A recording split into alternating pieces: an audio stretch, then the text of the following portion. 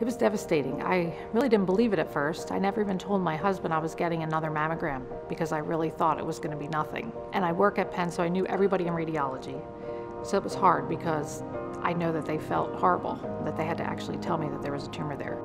And that's the scary thing about cancer. You know, you're feeling fine, you're just going on your everyday, and then suddenly, you know, you realize, wow, this has been, how long has this been inside me?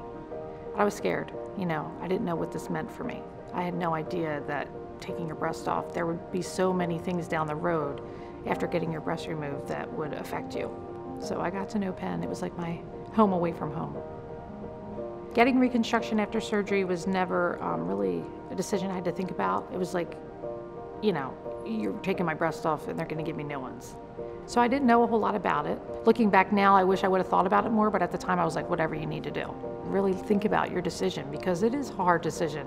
One of the big things you have to decide when you're done is if you're going to have nipple reconstruction or tattooing. So that was kind of a fun thing to talk about because we I had no idea. I never had a tattoo in my life. And I'm like, what are you talking about, a tattoo?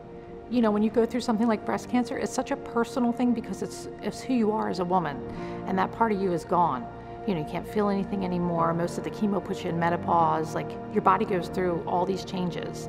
And so just the, you know, even the, the simplest thing like the nipple reconstruction, the tattooing, just makes you feel like, okay, like, you know, I'm a woman again. I have, I look like everybody else. Um, I feel better.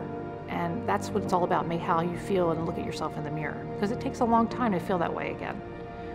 I talk to a lot of people who have cancer, a lot of other women, and I do try to tell them that, look, just focus on what the treatment is today and try not to worry so much down the road because you can't really control it and things change.